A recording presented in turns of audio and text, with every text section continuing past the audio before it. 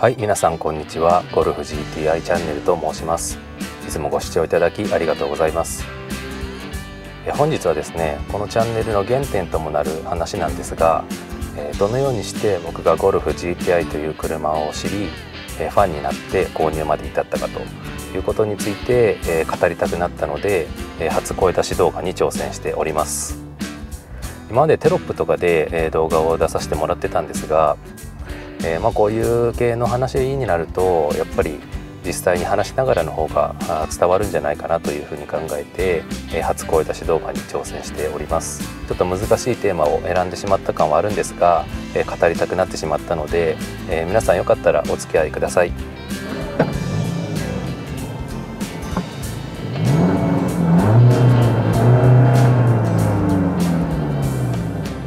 まずこの車との出会いなんですが一言で言うと高校の同級生が教えてくれて知ることとなりました。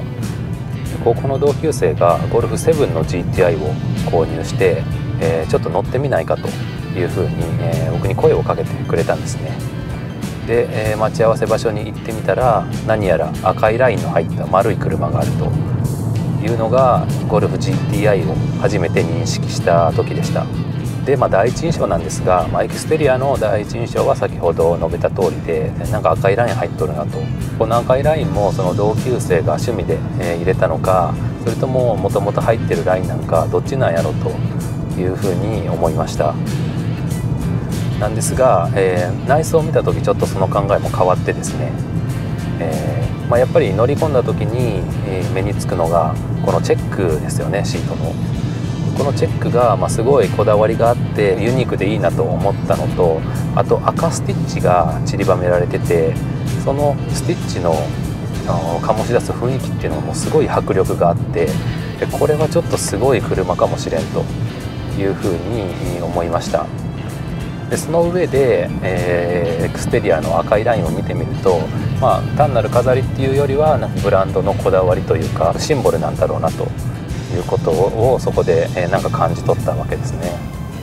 で、えーと、実際乗ってみたんですがもうこれがねもう超気持ちよかったです。もう本当に超気持ちよかった。で中でもこれはすごいと思ったのが2つあって1つが、えーと、鋭い加速ですね。でもう1つが、えー、コーナリングの気持ちよさ。で、えーとまあ、鋭い加速なんですがえー、当時 CX5 のディーゼルに乗ってたんですが、まあ、それとは全然違う、まあ、加速の鋭さとあとどこまでも速度が伸びていくような感覚ですね。これがもうすごく新鮮で、えー、楽しかったです。とあとやっぱり狙った速度に、すぐに到達できるっていうのは乗ってて安心感があったポイントですね。で、えーともう一つのコーナリングなんですがえー、まあ僕はもうこっちに本当にやみつきになりましてコーナーの内側にぐいぐいと引っ張っていってくれるような感覚っていうのがあって、えー、まあそれがもう味わったことのない感覚でもう本当に気持ちよくってそれでもうすぐファンになってしまいましたね。もうやみつきになりました。でまあどれくらいやみつきになったかっていうと、まあ、当時僕は近畿地方の西の方に住んでたんですが、えー、同級生は、えー三重県の方に住んでてで、まあ、その三重県までわざわざ行って、まあ、ゴルフ GTI 乗らせてくれと頼むようになる程度にはハマりましたね。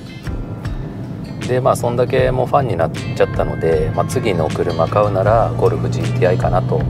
いうふうに思ってたんですが、まあ、特に車を変える機会もないまま3年ほど CX5 に乗ってました。でまああの CX5 で楽しくドライブしてたある日なんですけど、えー、もらい事故に遭いましてでも CX5 も事故車になってしまうということだったのでそこで、え、ついに愛車の子を変えるということを決意して、まあ、CX5 は、えー、未修理車のまま手放すことになりました。でその辺りのことをまとめた動画があるのでもしご興味があれば、えリンク貼っておきます。ちょっと見てみてください。こんだけゴルフ GTI 気に入ってたので、えー、次の愛車はゴルフ GTI 一択かと思いきやえここでいろいろ乗るんですねでその乗ってた時の動画っていうのも1本にしてるのでよかったらあんな車乗ってたっていうのがまとめられてるので、えご興味あったら、え確認してみてください。はい、というのもゴルフ7に乗った時に分からせられたことなんですけど自分の知ってる車以外にこんな気持ちいい車があったらやっぱりそれはもういろいろ乗ってみないとダメだなということになって、まあ、実はこの CX5 が事故に遭うまでに、まあ、機会を見つけていろんな車に乗るようにしました。でたまに、えー、ゴルフ GTI 以外の乗った車の感想とかも載せてたりしたんですけど、まあ、それは、えっと、その愛車探しの一環っていう側面もありました。新しい愛車をロングスパンで探していこうと。で、えー、まあ、GTI を超えるような気に入った車があったらそれをま購入候補に、え、どんどん付け加えていこうかなと、まあ、そういうマラソンみたいなことをやってました。でも結局もういろいろ乗ったんですけどまあゴルフ GTI これを一番気に入ってしまったので購入したと。いうところになりますね。まあ、あの7じゃなくてもう8が出てたので8を買ったんですけど、うん。まあ、すごく洗練されてるというかね、まあ、7は本当になんかあの車良かったですよね本当に。はいあれはなんかもう傑作感がすごいありますよね。でまあ8を乗った時にあちょっとなんかバイクがいるから先行ってもらうか先。なんかずっと後ろについててほしくないんでちょっとここで譲るか。先行ってくれ。えっ、ー、とまあ購入して、まあ、喜んで乗っていると。今もう早速新車で買ったんですけど2万1000キロ超えてますね。やばい。早すぎ。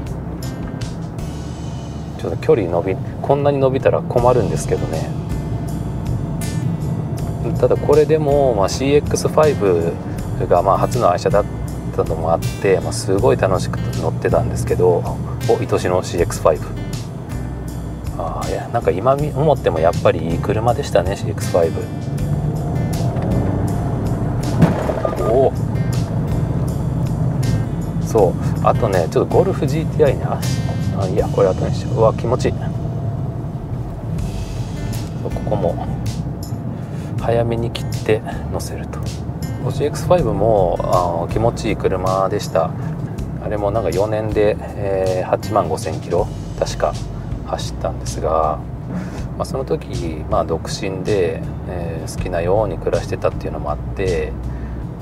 えー、距離伸びたんですけど、まあ、車に乗る機会っていうのもぐっと減ったはずなんですけどあ爽やか。かっこいいねあえて。うん。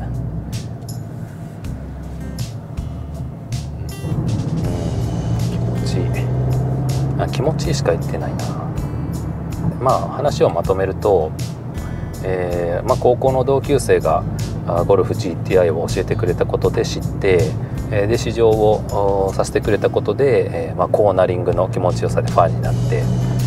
で、えー、まあいろいろな車に乗ったけどやっぱりゴルフ GTI より好きな車っていうのには出会えなかったので今 GTI に乗ってると、まあ、そういう感じですね。でまあ言ってみればそのゴルフ GTI に初めて乗ってから3年間ずっとずっとなんかこう車を探し続けた結果やっぱり GTI が良かったということで僕は GTI を選んだんですがもしよかったら皆さんの方で、えー、まあ、ゴルフ GTI を選んだ理由とか、まあ、これにと迷ったけど結局選ばなかったとこういうお話が聞きたいなというふうに思ってます。なので、えっと、もしシェアしてもいいよという方がいらっしゃればコメントでシェアしていただけると、まあ、ありがたく読ませていただきます、まあ、一度ちょっと考えてみてやってください。はいえーと、で今後ちょっと動画の幅を広げていきたいなと思ってまして、えー、まあ、たまにこういう声出し動画もするかと思うんですが、まあ、よかったらまた今後ともよろしくお願いいたします。それではまた次の動画でお会いしましょう。ご視聴ありがとうございました。